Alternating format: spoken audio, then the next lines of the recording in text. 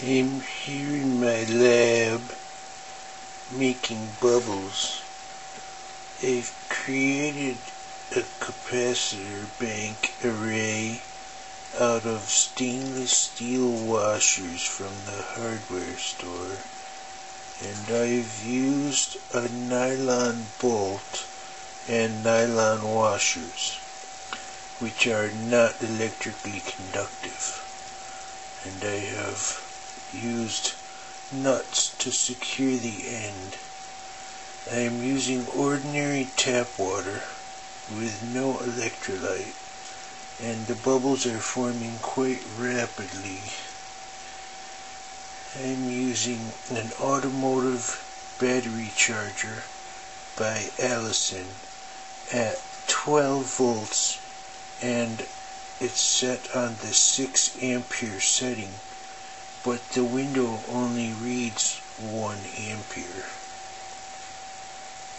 I'm not sure what the ohmic resistance is of my water and therefore I am uncertain as to whether or not I have any capacitive effect with the washers because naturally if the water has any electrolyte the water cannot function as a dielectric as it is a conductor.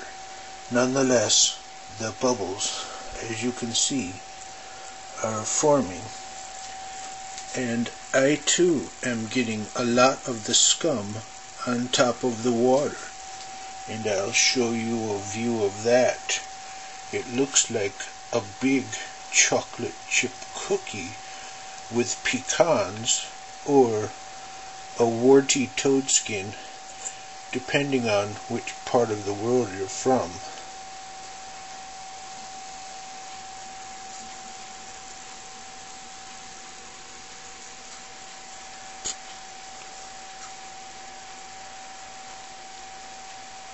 I have turned the unit off and removed all the parts and cleaned them all and started with fresh water and I noticed no degradation of either the alligator clips I'm using or the stainless steel washers.